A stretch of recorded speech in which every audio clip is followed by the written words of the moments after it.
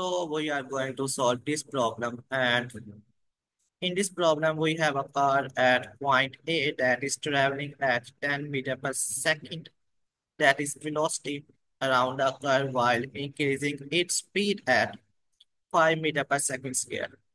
And we have another car at point B that is traveling at 18.5 meter per second along the straight away and increasing its velocity at 2 meter per second scale.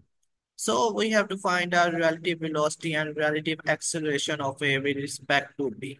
So basically relative acceleration or the relative velocity is basically the comparison of the velocity or acceleration of two bodies.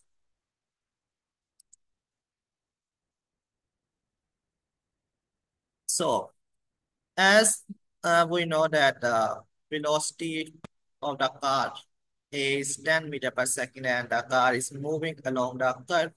So we have to draw the components of the velocity of the car at point A. And the car B has a velocity that is 18.5 meter per second. And you see this car is moving in a straight way and we can say also that it is its velocity is along the positive x-axis. While you see at origin uh, the car A has an angle of 45 degrees. So you see that the velocity of car along the x and y axis is about 10 cos 45 degrees along x-axis while negative 10 sine 45 degree along y-axis. So we get 7.071 meter per second velocity along x-axis and negative 7.071 meter per second velocity along y-axis, while the velocity at point B is 18.5 meter per second along the x-axis. So to find our relative velocity, we have VA minus VB. So when we solve this, so we get minus 11.429 meter per second velocity along the x-axis while negative 7.071 meter per second velocity along the y-axis. So uh, to find its magnitude, we have we have to take under root of it and squares. So we get 13.4 meter per second. And to find its direction angle, we have tan inverse the velocity along the y-axis that is 7.071 divided by the velocity along the x-axis that is 11.429. So we get 31.7 degrees.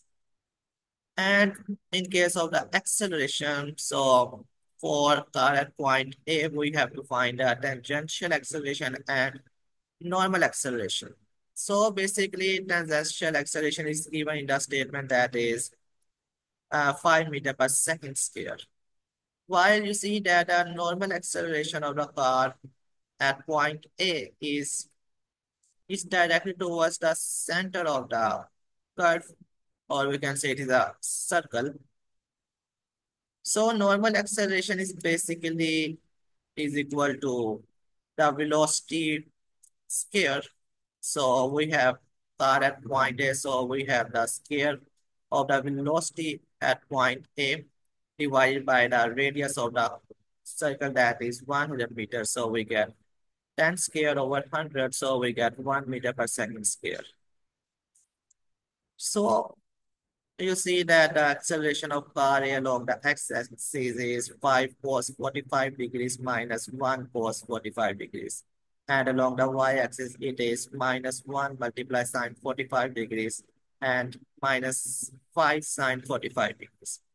So we get 2.828 meter per second square along the x-axis while uh, negative 4.243 meter per second squares along the y-axis while the acceleration of the car at point P is 2 meter per second square and it is also given in the statement.